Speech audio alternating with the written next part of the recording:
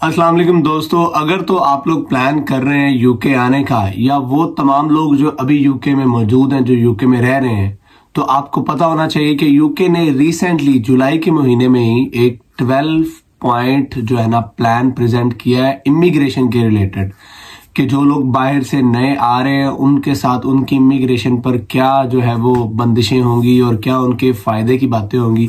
और जो लोग ऑलरेडी रह रहे हैं, उनके फ़ायदे की क्या बातें होंगी, उन पर क्या बंदिशें होंगी?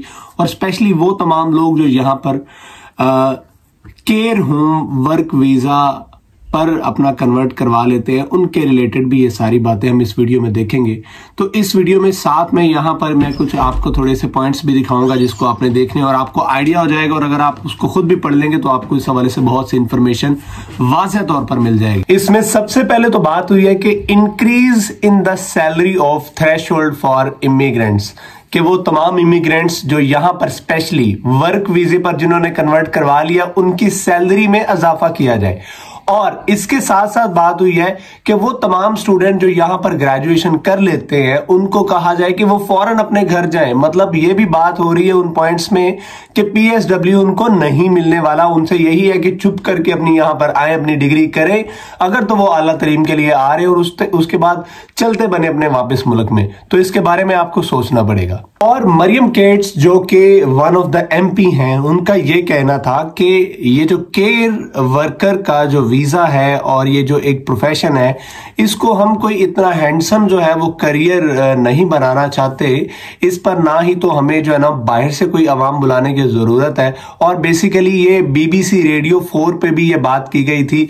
तो जिसके बरक्स फिर ऋषि सोनक साहब ने यह कहा कि हम मानते हैं कि इस वक्त इमिग्रेंट में इमिग्रेशन में इतना ज़्यादा इजाफा हो चुका है। इस पर हम अंडर रिव्यू चल रहे हैं कि हम इसको आहिस्ता आने वाले वक्त में maybe by the end of this year by the start of the next year 2024 इसको हम कम करेंगे। तो फ़िलहाल इस पर बातें चल रही हैं कि ये जो केयर होम का जो वीज़ा है, ये कोई इतना कोई हैंडसम करियर अपॉर्चुनिटी नहीं है। तो ये इस पर ऋषि सोनक साहब ने ये बात की थी कि कोई नहीं, हम इस पर बात तो चल रही है, हमने अंडर रिव्यू है, हमने आपसे प्रॉमिस किया हुआ है कि हम इसको रिड्यूस करेंगे। ऋषि सोनक साहब का ये भी कहना था कि 2016 में बैक जो हमने प्रॉमिस किया था ब्रेग्जिट के वक्त अपने जो है ना, वो अपने सिटीजन के साथ कि हम इमिग्रेशन जो है उसको कम करेंगे, उसको बहुत नीचे लेकर जाएँगे। तो it is the time now वो ये कह रहे हैं कि अब वो वक्त आ गया है कि हम उनके साथ जो किया हुआ वादा था, उसको पूरा करें कि हम इमिग्रेशन को कम करेंगे,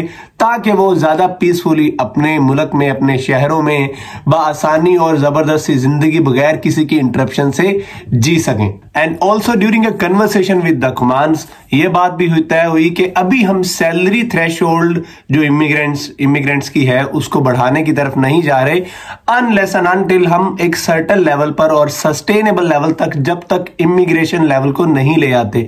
तो सैलरी को अभी साइड पर कर दें कि हम सैलरी पर कोई थ्रेश पर कोई इंक्रीमेंट लाएँगे। अभी पहले हमने ये सस्टेनेबिलिटी लानी है कि हमने इमिग्रेंट्स जो है ना, उनको कैसे एक सस्टेनेबल लेवल पर लेके आना है, कम करना विक्टोरिया इंग्रबी का यह कहना था कि हम मानते हैं कि रिवांडा जो है वो एक फ्री कंट्री नहीं है। वहाँ पर रहने वाले जितने भी लोग हैं उनकी ज़िंदगी फ्री नहीं है। इसलिए वो यहाँ पर आकर असाइलम सीकर बन जाते हैं और वो साइलम क्लेम करते हैं और उनको साइलम मिल जाता है कि वो अपनी ज़िंदगी खुश मजाजी से यहाँ पर आकर एक प्रोटेक्शन लाइफ जो है वो रह सकें। तो इस पर भी हमें सोचना पड़ेगा कि हम इतने ज़्यादा लोगों को जो साइलम दे रहे हैं ये भी आ, हमारे मुल्क के लिए एक सवालिया निशान है। तो मैं यहाँ पर आपके साथ शो भी कर रहा हूँ आप जाकर रीड भी कर सकते हैं ये सारी और इतने ज़्यादा ये फ्लक्चुएशन जो है माइग्रेशन के हवाले हवाले से बेचारों को, तमाम लोगों को जो फेस करनी पड़ रही है। मैं इसकी यहाँ पर एक फ़ोटो भी शो कर रहा हूँ। आप देख सकते हैं कि लंदन होटल के बाहर लोग अपने बोरिया बिस्तर उठाकर आ गए थे और इस पर प्रोटेस्ट भी उन्होंने क्लेम की है रिकॉर्ड करवाई है। तो बात यही करने का मकसद है कि if you are planning to travel UK तो आपको इन सारी चीज़ों के बारे में पता होना चाहिए कि इस वक्त नो डाउट पिछले एक से दो सालों में इतने ज़्यादा इमिग्रेंट्स यहाँ पर चेक इन हुए हैं, जिसके ब्याह पर अब यूके गवर्नमेंट ने भी ये सोच लिया कि यार हमने इसको मिनिमाइज कर करना है और एक सस्टेनेबल लेवल तक लेकर आना है।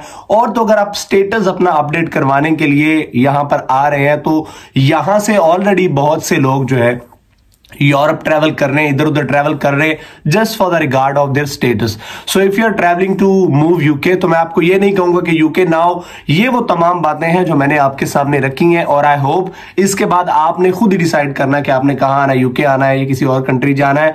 अगर आना है तो मोस्ट वेलकम हम लोग भी यहाँ पर रह रहे हैं तो कोई इतनी भी कोई बुरी ज़िंदगी नहीं है। लेकिन ये सारी वो चीज़ें हैं जिनको इन फ्यूचर आपने देखना है। सो so, अपना ख्याल रखें आई होप इस वीडियो में तमाम बातें आपको समझ आ गई होंगी। ये वो तमाम मेजर और बेसिक पॉइंट थे जो आपके साथ डिस्कस करने बहुत ज़रूरी थे। सो अपना ख्याल रखें दुआ में याद रखें इंस्टाग्राम पर फॉलो कर लें। अल्लाह हाफिज।